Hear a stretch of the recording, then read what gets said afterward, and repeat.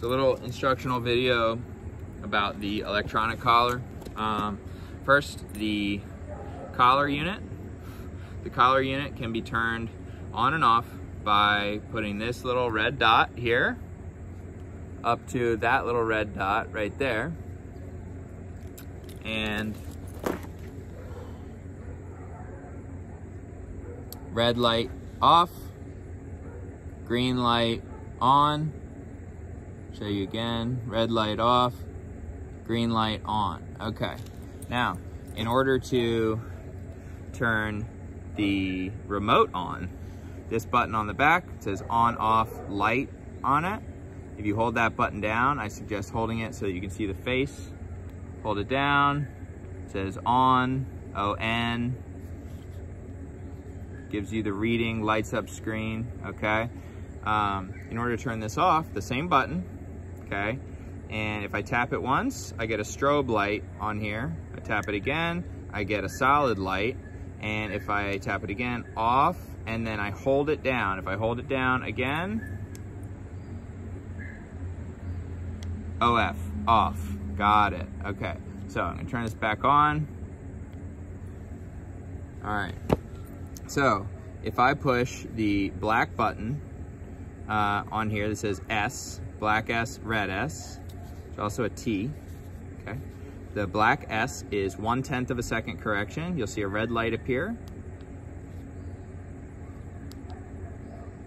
Okay, so there you know the collar's getting stem, all right? The red button, even if I hold that black button down, it's only a tenth of a second. Red button, if I hold it down, is constant. There is a shut off function. I think it's after like 10 seconds if you held it down. Okay. So uh, you have a couple ways to function the collar. Tenth of a second. That's momentary, momentary, momentary, momentary. Constant. You could do a bump, which is what I call a, uh, just basically I call that a bump, which is a longer press on the red button. Okay. Multiple momentary, one momentary. Got it. All right. Um, other functionality here, the, the uh, T, it stands for tapping sensation, but uh, really it's a vibrate, right? So you can't see it, but maybe you can hear it. Um, and I never use that unless I'm training a deaf dog. Um, I believe that it really lets the dog know that they're wearing a collar, so the dog gets collar-wise, and um, then knows if they only need to really behave if they have the collar on, which is not how I like to use the collar. Um, so it also kills the battery, uh, a bunch of different things that I don't love about the vibrate sensation. Um, but that's your general functionality. This is your little rheostat controller. Turn it up, turn it down. If by some chance this gets locked uh, in place, that is from being pressed down and held in and now it's locked. Press it down, now it's unlocked cool. One other button on here, this little button right here.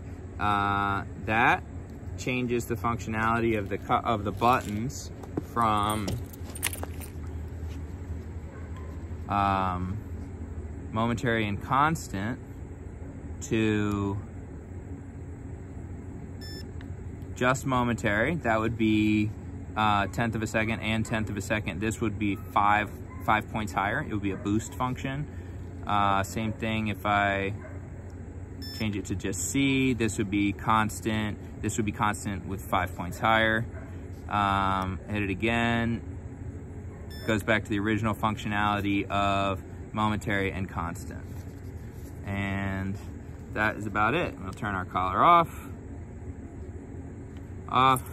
Or we'll turn our remote off rather, and then we'll turn the collar off. Touch here to here. Oh, so you can see it see if we can do that. Yeah. Green on, red off, cool.